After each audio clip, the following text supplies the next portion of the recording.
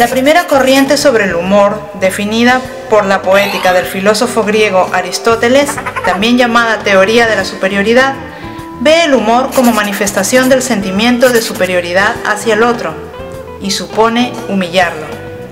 Aquí se trataría de una fórmula para liberar emociones e impulsos acumulados y socialmente reprimidos, una especie de salida para desquitarnos de aquellos que consideramos inferiores.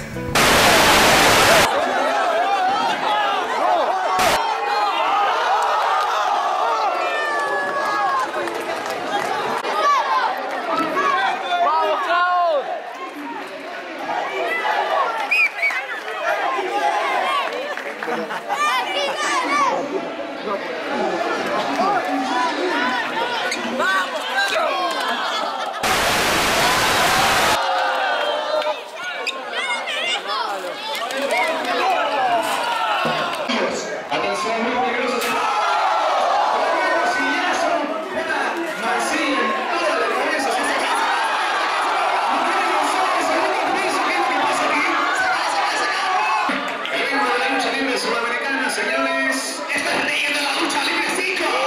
Y yo no sé cómo ir, tiene fuerza para seguir hablando, pero aquí está.